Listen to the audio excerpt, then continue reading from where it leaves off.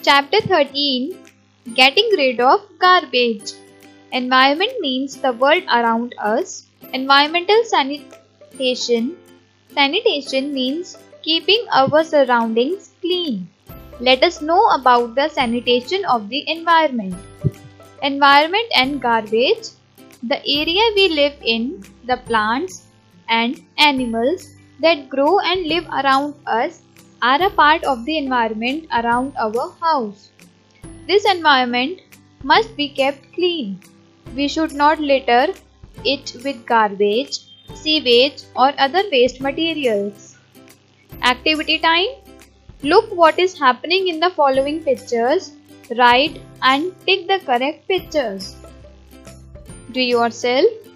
A lot of waste materials are released into the environment as a result of various human activities. These waste materials are divided into two categories biodegradable, biodegradable waste and non biodegradable waste. Biodegradable waste Waste materials which can be disposed of easily and can mix with soil are called biodegradable waste.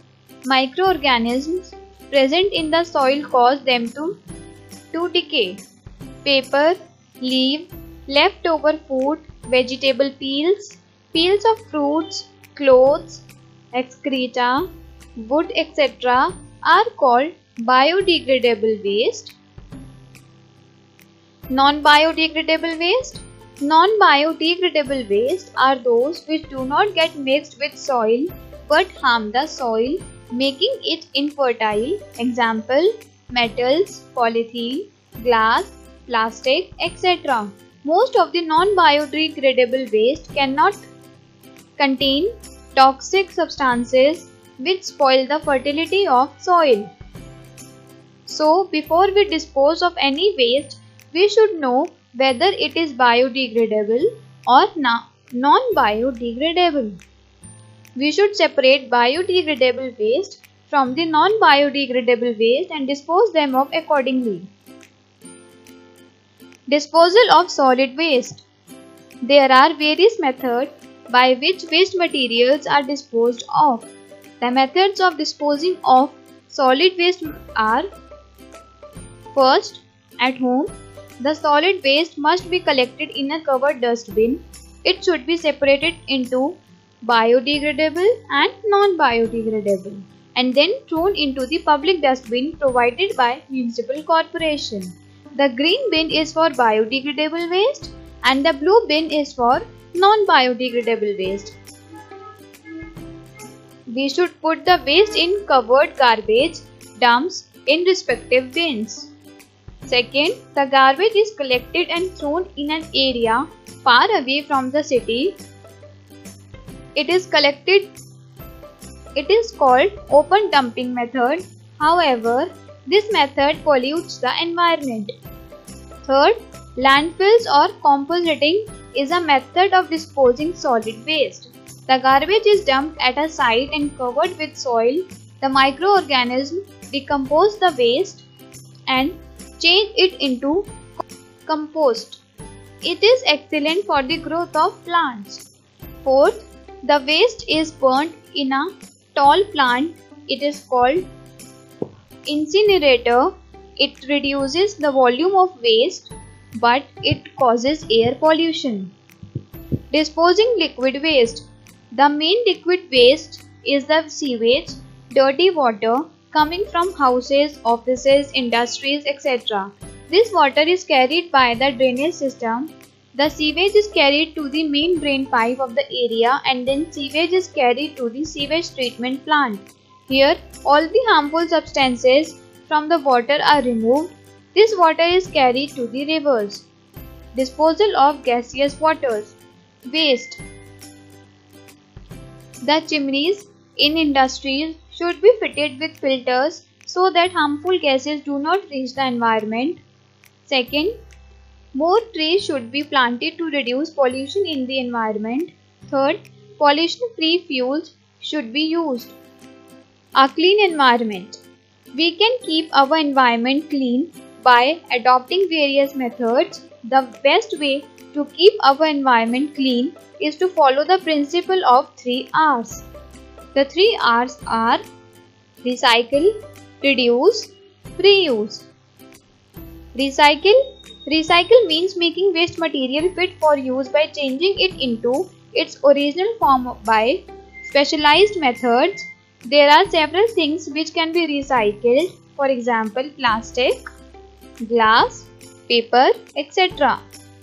Things made of metals like iron, copper, aluminium, brass, etc. can also be recycled. So, we should sell all the old and non-usable items for me of metals to the kabadiwala or junk dealer. He will sort them and sell them to the people who will recycle them. Activity time How do rag pickers help in recycling of waste materials? Reduce It means to reduce the amount of waste generated. For example, if you have paper printed only on one side, then write on the other side before throwing it. Make sure that whatever you are throwing is being thrown after it has been used to the fullest.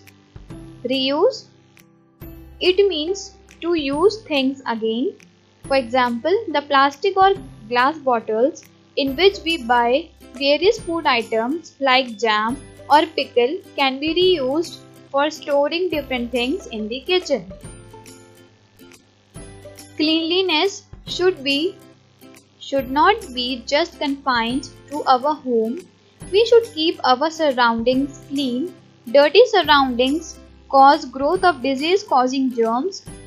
Cholera, malaria, jaundice, plague are some of the epidemic diseases that can occur if we live in dirty areas Thus, maintaining cleanliness at home and in the community is a must to stay healthy and fit. Keywords Sewage, wastewater and excrement conveyed in sewers. Decay, the state or process of rotting.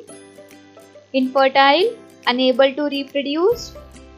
Compost, decayed organic material used as a plant fertilizer.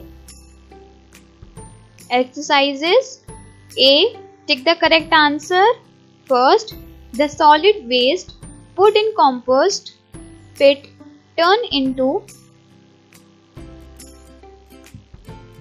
manure. Second, we put non-biodegradable waste in the blue bin. Third, dirty and stagnant water is the breeding ground of mosquitoes.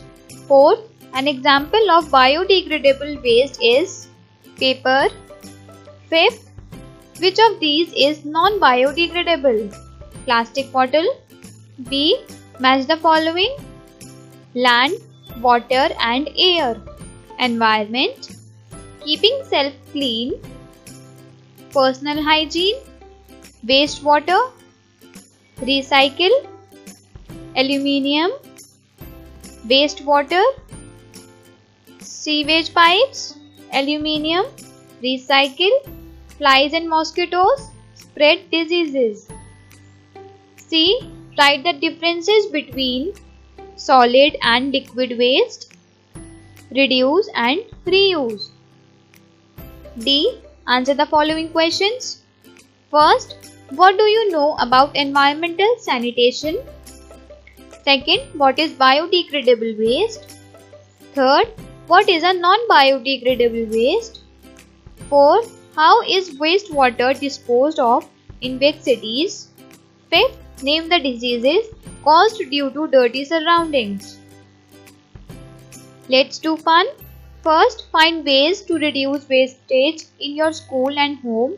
Discuss these ways with your classmates and teachers. Second, Take some old newspapers, half fill a bucket with water and soak the newspapers in it. After 3-4 days, add some Fevicol and clay to this paper pulp. Make a dough with it. Now you can shape the dough and make different things like pen stands, table lamps, etc. out of it. This technique is known as papier-mâché. To the teacher, hold a discussion in class on why more waste is generated in towns and cities than in villages.